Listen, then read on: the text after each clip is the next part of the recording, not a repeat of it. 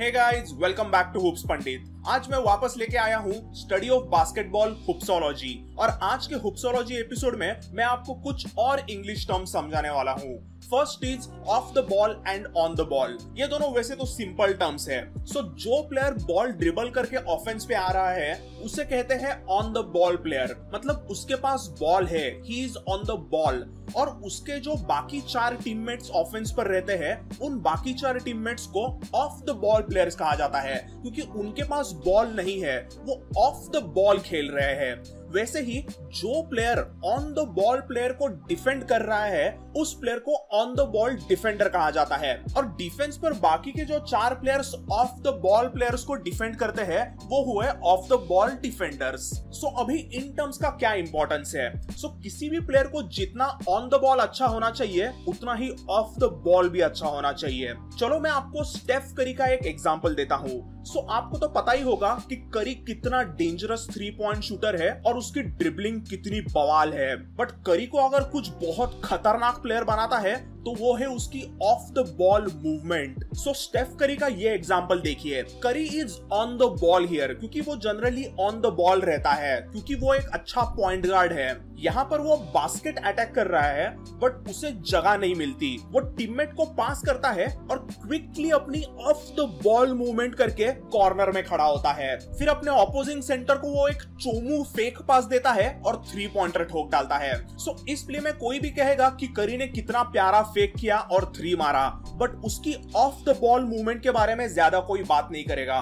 But Curry की ये off the ball movement की अवेयरनेस अलग लेवल पर होती है और वो भी उतनी ही इंपॉर्टेंट होती है।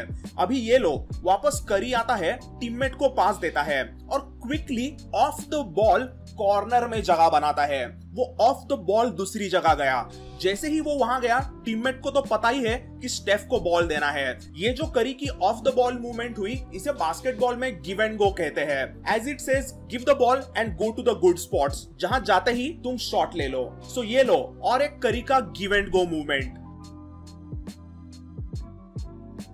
three point bomb वापस एक पास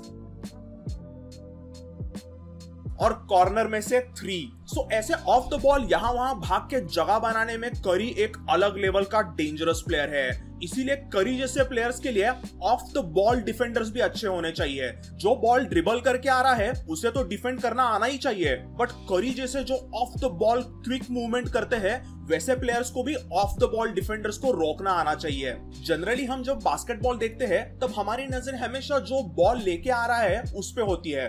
बट ये जो बाकी के चार प्लेयर्स होते हैं, यानी जो बाकी के चार ऑफ़ द बॉल प्लेयर्स होते हैं, उनका गेम भी बहुत मस्त रहता है। करी जैसे खतरनाक ऑफेंसिव प्लेयर्स के पास बॉल नहीं रहेगा तो भी उनपे कंटिन्यूस मार्किंग रखनी पड़ती है।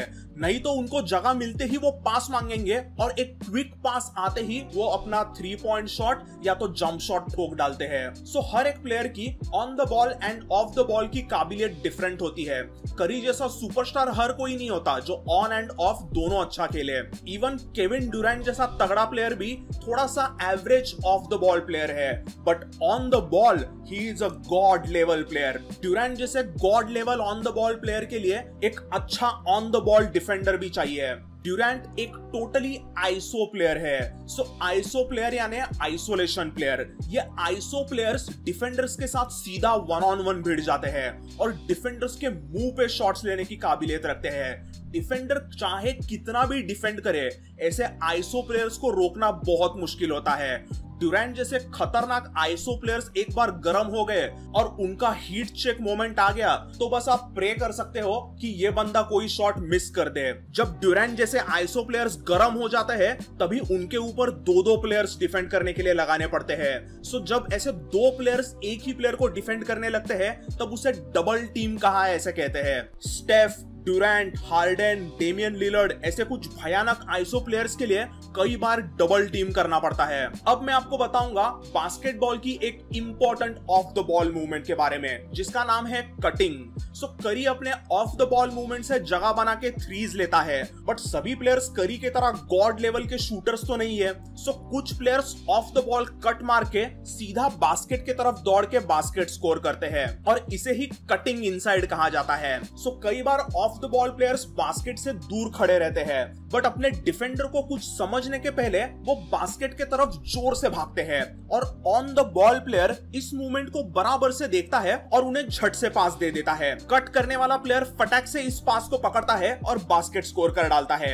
इसे ही कहते हैं कटिंग इनसाइड और ऐसा कट मारने वाले प्लेयर को कटर कहते हैं। इस स्किल में कटर को बराबर सोच समझ के कट मारना ही होता है। But on the ball player को भी ऐसे कट मारने वाले प्लेयर्स को परफेक्ट पासेस देने होते हैं। इसमें कटर और पासर का कोऑर्डिनेशन परफेक्ट होना चाहिए। बास्केटबॉल के ऑफेंस में कई अलग अलग नाम के कट्स होते हैं, जैसे कि backdoor cut V cut curl cut L cut और ऐसे कई टाइप्स के कट्स होते हैं। इनके बारे में और डिटेल में तो मैं नहीं बताऊँगा। उसके लिए मुझे खुद को कुछ कोचिंग वाली किताबें पढ़नी पड़ेगी। बट फिर भी मैं आपको कुछ कट्स के एग्ज़ाम्पल देता हूँ। ये देखो, यहाँ लब्रॉन ऑन द बॉल है और ऑफेंस पर आ रहा है। वो अपने टीममेट रिचर्ड जेफरसन से आई कॉन्टेक्ट करता है और उसे कहता है, चल निकल अंदर।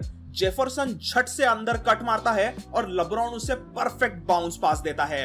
एंड इजी बास्केट इसे ही कहते हैं बैकडोर कट ये देखो, इस बार लब्रॉन ने पास दिया और फिर उसने अंदर कट मारा, जिसे कायरी अर्विंग ने देखा और उसे पास दिया।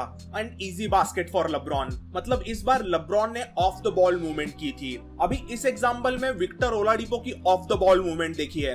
वो बाहर से अंदर आता है, फिर थोड़ा और दूसरी तरफ़ बाहर जाता है और अचानक से फिर वापस अंदर आता है कट मार के और डंक मारता है। तो ये होती है ऑफ़ द बॉल मूवमेंट अभी ये वाला लब्रॉन का पास देखो। लब्रॉन कटर को बस फ्रैक्शन ऑफ़ सेकंड के लिए देखता है और झट से उसे पीछे के तरफ़ बाउंस पास देता है। अभी ये ब्लेक ग्रिफिन का crazy between the leg pass देखो। जैसे ही कटर जेजे रेडिक अंदर आया, ब्लेक ने उसे अफलातून बिटवीन द लेग पास दे दिया और कटर जेजे रेडिक ने सिंपल लेअप मार दिया। सो so गाइज़ आगे मैं या फिर कोई भी एनबीए कमेंटेटर कहे कि प्लेयर अच्छा off the ball offensive player है, या फिर कहे कि प्लेयर अच्छा ऑन द बॉल डिफेंडर है तो आपको समझ में आना चाहिए कि एक्चुअली प्लेयर क्या करता है। Lastly what is hoops hoops यानी बास्केटबॉल की बास्केट अमेरिकन बास्केटबॉल खेलने को ही स्लैंग अमेरिकन इंग्लिश में वी आर प्लेइंग हुप्स कहते हैं। मोस्टली सभी बास्केटबॉल खेलने को कहते हैं let's play some hoops let's shoot some hoops इसीलिए मेरे चैनल का नाम भी हुप्स पंडित रखा हुआ है।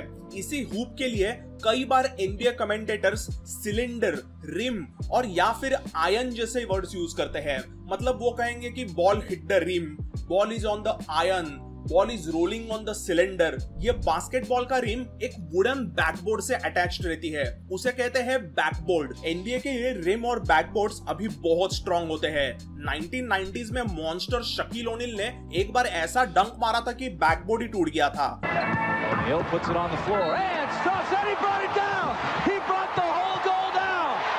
इस इंसिडेंट के बाद एनबीए ने कुछ साइंटिस्ट को काम पर लगाया था और उन्होंने अच्छे खासे स्ट्रेंथ वाले बैकबोर्ड और रिम को बनवाया था। शैक के हादसे के बाद कभी कोई रिम टूटने का बड़ा हादसा नहीं हुआ। अभी तो ये रिम इतने मज़बूत होते हैं कि एनबीए के तगड़े तगड़े प्लेयर्स इस पे मस्त पुलअप्स मार सकते हैं। बास्केटबॉल का सबसे बेसिक फंडामेंटल शॉट बैकबोर्ड का यूज़ करके मारा गया शॉट होता है। सो ऐसे बैकबोर्ड पर बॉल मार के बास्केट में मारने वाले शॉट को बैंक शॉट कहते हैं। कई बार आप सुनोगे कि कमेंटेटर कहता है ही बैंक टिटीन मतलब प्लेयर ने बैंक शॉट लिया है। ही बैंक टिटीन सो गाइज़ आज के वीडियो में बस इतना ही। I hope you guys learn something new today so आज के क्लास के फ़ीस के तौर पे भी लाइक करना ना भूले और ऐसे ही क्लासेस के लिए सब्सक्राइब भी ज़रूर करें। So bye and take care